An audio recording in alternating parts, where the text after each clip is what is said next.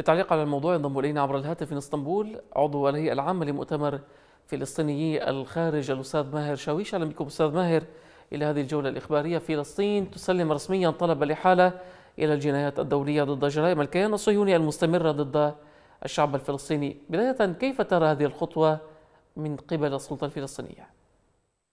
نعم حياك الله أخي الكريم.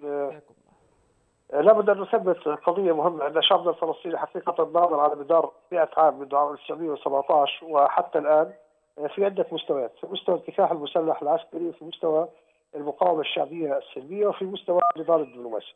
لا شك هذه الخطوة هي في حيز الخيار النضال الدبلوماسي ضمن المحافل والمنابر الدولية، من حيث المبدأ هي خطوة تثمن وهي خطوة جيدة في الاتجاه الصحيح وتحتاج إلى المراقبه عليها.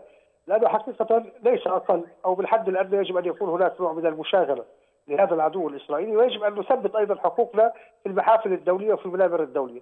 هذا جهد من هذا هذا جزء من هذا الجهد الذي يصب في هذا الاتجاه هو محمود ومطلوب حتى نستطيع أن نثبت قضايانا وحتى تبقى قضية فلسطين حاضرة بكل مظلوميتها وبكل عدالتها في المحافل الدولية والمنابر.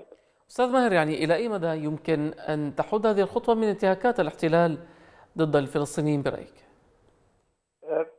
يفترض يفترض أن تحد يفترض أن تحد فيما إذا كان فعلا هناك نوع من الإجماع الدولي وهناك نوع من الرغبة الدولية لدى المجتمع الدولي من أجل يعني أن يقتص لحقوق اللاجئين لحقوق اللاجئين الفلسطينيين وحقوق أبناء شعبنا الفلسطيني بشكل عام.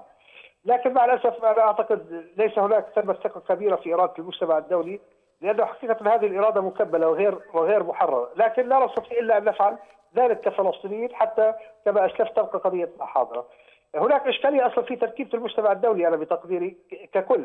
في هذه المنظومة التي تقود مجلس الأمن ضمن خمس دول هي التي تسيطر وبقية الدول يعني لا تستطيع أن تفعل تفعل شيء، الدول التي تمتلك الفيتو هي التي تستطيع أن تحسم أي قرار سلبا أم ايجابا، لكن لا نستطيع أن نغيب عن هذه المحافل الدولية. لابد من يعني بذل الجهد التراكمي في هذه في هذه المحافل حتى نحاول أن نقدم روايتنا الحقيقية لكل هذا العالم وبكل اللغات، الروايه الرواية الحقيقية لما جرى لأبناء شعبنا الفلسطيني ليس فقط في مسيرات العوده منذ 30 مارس اذار الماضي وإنما منذ وعد بلفور المشؤوم وحتى الآن هناك تمت رواية تاريخية وحقيقية يجب أن يقدمها أبناء شعبنا الفلسطيني بدبلوماسية بعسكرية نعم. بمقاوميه الشعبيين يجب أن تقدم هذه الرواية ويجب أن يسمع العالم منا ولا يسمع عنا في هذه المحافل. في سياق كيف ترى مشروع القرار الكويتي في مجلس الأمن بشأن توفير حماية دولية للفلسطينيين وفي ظل حضور القضية الفلسطينية شعبيا ودوليا هل هناك برأيك من الممكن أن يمرر مشروع القرار؟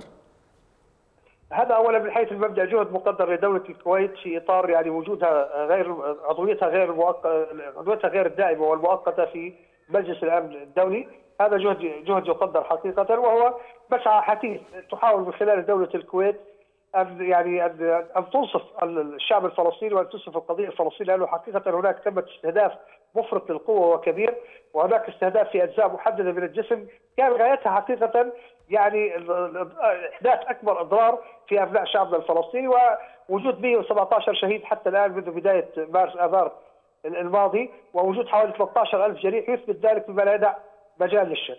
الآن القرار حقيقة قدم منذ منذ أسبوع تقريبا.